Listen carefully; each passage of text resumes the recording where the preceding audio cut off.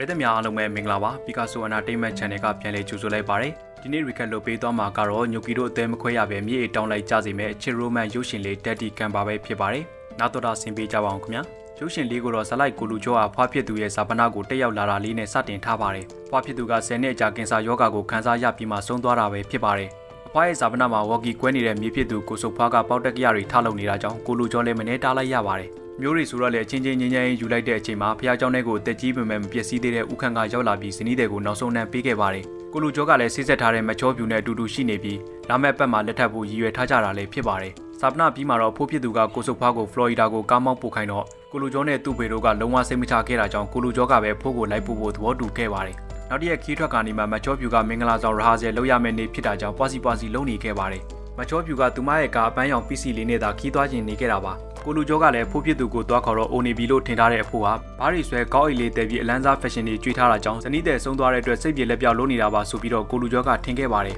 ခီးစထွက်လာပြီးစားတော့ဆိုင်တကူအရောက်မှာတော့ကိုလူကျော်ကသူ့ရဲ့ရှေ့နေလို့ကိုစိတ်ပြစ်နေတဲ့အကြောင်းပြောမိတဲ့အခါမှာတော့ဦးခန့်ကဘဝဆိုတာနေတိုင်းရင်ပြောစရာကြီးပါဆိုပြီးပြောခဲ့ပါတယ်အဘေးကစပွဲတစ်ခုမှာတငယ်ချင်းတွေနဲ့အတူတူစားနေတဲ့လှလှကိုတွေ့ရမှာပါလှလှကကိုလူကျော်ရဲ့အကြောင်းတော့ကရီးစားဟောင်းလေးဖြစ်ပါတယ်လှလှကတငယ်ချင်းကိုညိုကိုသူမရဲ့တပ်ပုံရိုက်စကေးတွေအကြောင်းကိုထိုင်ကြွားနေတာပါ ကိုလူကျော်ကိုမှတ်မိနေတဲ့လှလှကတော့စကားသွားပြောဖို့ကြိုးစားပေမဲ့ကိုလူကျော်ကတော့ဝေတာလို့ထင်ခဲ့ပြီးပတ်စံရှင်းပေးလိုက်တော့လှလှလို့တတိုက်လေလေပြေးသွားခဲ့ပါတယ်ဝေတာစစ်ကဗလာတကားကနဲ့ငွေလာရှင်းခိုင်းမှပဲကိုလူကျော်တယောက်ကြောင်းတော်ဖြစ်သွားခဲ့ရပါတယ်စံပြေမှာတော့လှလှကဘယ်မှမသွားသေးပဲစောင့်နေခဲ့ပြီးစကားပြောနေတော့ဥက္ကံကရောက်လာခဲ့ပြီး professor တယောက်ဘာဘာညာညာရှူရှောင်းလုပ်ခဲ့တာကြောင့်လှလှလို့တတိုက်နဲ့နောက်တစ်ခါကမ်းခြေမှာထပ်ဆောင်ကြဖို့ချိန်လိုက်ကြပါတယ် အဲ့နောက်မှာတော့ဥက္ကံကကိုလူကျော်ကိုကောက်ကွင်းခေါ်သွားခဲ့ပြီးစကီလန်းတွေကိုလိုက်ပြခဲ့ပါတယ်။ဥက္ကံကသူဟာ professional ကော်သမားဖြစ်တယ်ဆိုပြီးစကီလေးတွေကိုဝင်ရောနေချိန်မှာကိုလူကျော်ကတော့သူ့ဘိုးဖြစ်သူကဇနီးတဲ့ဆုံးသွားတာကြောင့်စိတ်မနေဖြစ်နေကြောင်းစကီလေးတွေကိုအတင်းထိုင်တုံနေခဲ့ပါတယ်။အဲဒါကြောင့်စကီလေးတွေထွက်သွားကြတော့ဥက္ကံလည်းစိတ်ပြက်နေခဲ့ပြီးဒီလိုဒီနီယာဆိုတာဟိုဦးလေးတို့လေတန်တိုင်းအိမ်ကဟာမကြီးကိုပြစ်ထားရတယ်ဆိုပြီးတရားတွေချနေခဲ့ပါတယ်။ကိုလူကျော်ကလည်းကောက်ဆန်းရိုက်ပေမဲ့အဖိုးကလိုက်ရှုံနေတော့ကောင်းကောင်းမကစားလိုက်ရပါဘူး။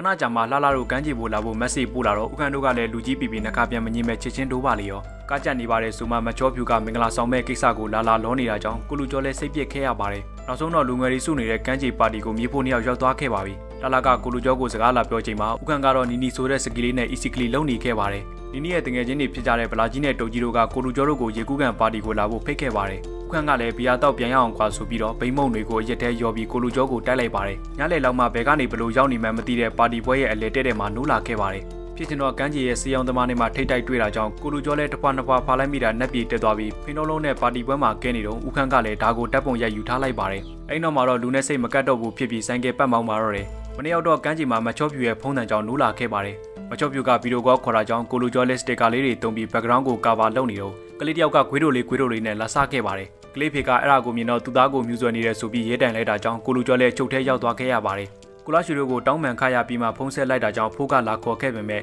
ဝက်စားတွေမပါလာတာကြောင့်ရှိတဲ့မိန်းကလေးဝက်စားကိုပဲဝက်ပြီးလိုက်လာရပါတယ်အဲဒါကြောင့်ကိုလူကျော်လည်းစိတ်ပြက်သွားခဲ့ပြီးအဖိုးကိုလည်းတငယ်ချင်းဖြစ်တဲ့ဦးမင်းစီကိုပို့ထားလိုက်ပါတယ်ဦးမင်းကလည်းမင်းရဲ့လက်ကျန်ချိန်တွေကိုငါနဲ့ပင်ကိုစော်ရင်ကုံဆုံးလို့ရတယ်ကွာဆိုပြီးပြောလိုက်တဲ့အချိန်မှာကိုလူကျော်ကလည်းဖိုးပြစ်သူကယောဂကျွမ်းနေတာကြောင့်လာနေငယ်ပဲတက်ရှင်ရတော့မှာကိုနားလေသွားခဲ့ပါတယ်ဒီဖို့နေရာသားစကားပြောကြရင်လည်းဦးခန့်ကနီနီနဲ့တကူကူကူခဲ့ကြောင်းပြောပြခဲ့ပြီး ဒါကတယောက်မရှိတော့တဲ့အခါဘွားတက်စားဖို့ဇနီးတန်နဲ့သဘောတူညီချက်ဆိုပြီးပြောခဲ့ပါတယ်ကိုလူကျော်ကလည်းဥခန့်ကိုကမ်းခြေပြန်လိုက်ပို့ပေးခဲ့ပြီးအကပွဲရှိတာကြောင့်အတူတူသွားတွန်းခဲ့ပါတယ်။ဥခန့်ကမြောက်ပေးတာကြောင့်ကိုလူကျော်တယောက်စင်ပေါ်တက်ကဖို့လှုပ်ပြီးမှသူ့ရဲ့အလုပ်ကိုထိခိုက်မှဆူတာကြောင့်ပြန်ဆင်းလာခဲ့ပါတယ်။ဥခန့်ကလည်းငါမြင်းမနိုင်ရင်တခြားသူပါမနိုင်ရဘူးဆိုပြီးတော့ဥခန့်ကပလင်းနဲ့ကောက်ထူတာကြောင့်စင်ပေါ်ကလူတွေထိနာခဲ့ပါတယ်။အဲဒီညမှာဆိုရင်တော့ဝကောင်းစားလာဝက်ပြီးလှလှနဲ့နီနီတို့ရှိရာကလပ်ကိုလာခဲ့ပေမဲ့ကာပွဲတုန်းကပလင်းနဲ့ထုခံရတဲ့ကောင်တွေကပြဿနာလာရှာတာကြောင့် ဥက္ကလည်း38သိန်းတန်ကိုဖမ်းပြီးပညာပြန်ပေးလိုက်ပါတယ်။မနေ့မှာတော့ကိုလူကျော်နဲ့လှလှတို့ကဓာတ်ပုံရိုက်ပြီးပြန်ကြည့်ရင်ပလုတ်ပလုတ်ခါနီကြမှာမချောပြူစီကဖုံးဝင်လာတာကြောင့်စတဲ့ငငယ်ဖြစ်သွားခဲ့ပါတယ်။ညမှာတော့ကလပ်ထဲမှာကိုလူကျော်နဲ့လှလှကတချင်းစုံနေတော့ဥက္ကနဲ့နီနီကလည်းနီးတဲ့နီးလာခဲ့ပါတယ်။ဘသူမှတတိမထားမိချိန်မှာမင်းညာကပညာပေးခံလိုက်ရတဲ့သူတယောက်က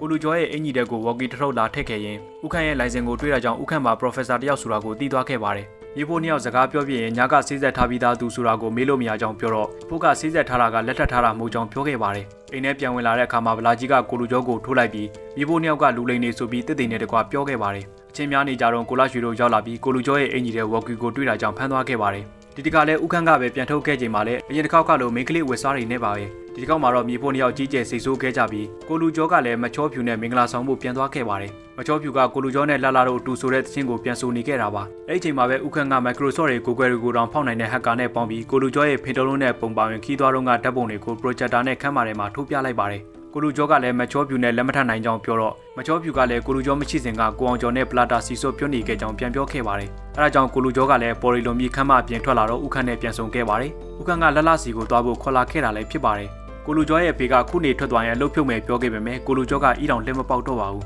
ဒီကဲမို့ကားကြီးကိုမိုင်ကုံမောင်မီလာလာတို့ကားတို့ကိုလိုက်ခဲ့တာကြောင့်ကိုလာရွှေတို့ကလည်းနောက်ကနေလိုက်လာခဲ့ကြပါတယ်ဘတ်စကားရှိမှပိတ်ရက်ပြီးတော့လှလှကိုတောင်းပန်လိုက်ပြီးနှစ်ယောက်သားပလုတ်ပလုတ်လိုက်ချိန်မှာကိုလာရွှေတို့ကရောက်လာပြီးလာဖမ်းခဲ့ပေမဲ့ ဖခင်ဖြစ်သူကရောက်လာတာကြောင့်အားလုံးအိုကေသွားခဲ့ပါတယ်။ဥခန့်ကလည်းကိုလူကျော်တဲ့ဖခင်ကောင်တယောက်ဖြစ်ဖို့တရားတွေဟောလိုက်တော့တာဖတို့လည်းအိုကေသွားကြပါပြီ။ဥခန့်အိမ်ပြန်လာတော့နီနီကအခန်းထဲရောက်နေပြီး Professor မုတ်လည်းချစ်တယ်တော့ I love you တွေလှုပ်လိုက်ကြပါတယ်။ရုပ်ရှင်ရဲ့နောက်ဆုံးပိုင်းမှာတော့ one shot one game မြေဖို့နှစ်ယောက်လည်းမိသားစုတီးတီးနဲ့ကလေးတွေရကုန်ကြပါပြီ။ပေးချင်တဲ့ message လေးကတော့ဖိုးကြီးတွေတောင်ဆော်ရကြပေမဲ့တချို့တွေကတော့ခုတီခေါ်လီပြတန်းစော့နေကြတော့ဆိုတာပါပဲ။ဆုံးဒီနာဆင်ကြည့်ရှုပေးခဲ့ကြတဲ့အတွက်ကျေးဇူးထူးတင်ရှိပါတယ်ခင်ဗျာ။